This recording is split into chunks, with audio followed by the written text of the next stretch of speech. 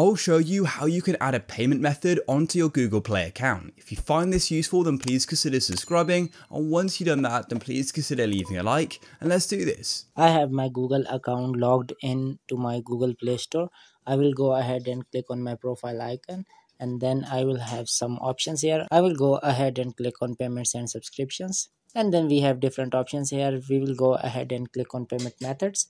And once we click on payment methods we will have an option to add our credit or debit card. I already added my payment methods to this account but you can go ahead and click on add credit or debit card. And then you will have to enter your credit card information here. And now i will put my credit card information here. Now i have added my credit card information here. I will go ahead and click on save and then it will add my card to my google account so that's how you can add payment methods to your google account and so now when you go make a purchase on the Google Play Store, you can now go and use your new payment method and it's going to be charged to that instead of your old one. So if you guys found this useful, then please consider leaving a like. Peace.